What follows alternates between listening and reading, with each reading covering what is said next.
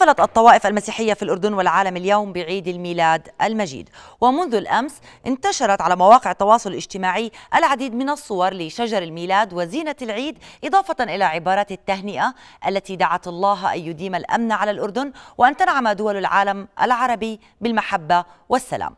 الصورة التي نشرتها جلالة الملكة رانيا العبد الله في حسابها الخاص على الإنستغرام كانت واحدة من أكثر الصور تداولا على صفحات مواقع التواصل الاجتماعي وهي التي نشاهدها الآن على الشاشة وقد كتبت عليها التعليق التالي.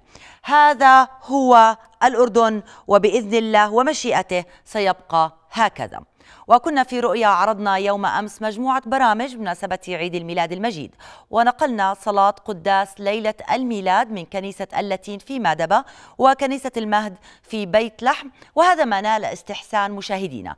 ومنهم لارا زوايدة التي غردت على عبر تويتر قائلة جزيل الشكر إلى قناة رؤيا لبث قداس الميلاد المجيد من مأدبة. هذه هي كنيستي التي فيها أجمل ذكريات الطفولة. أشكركم.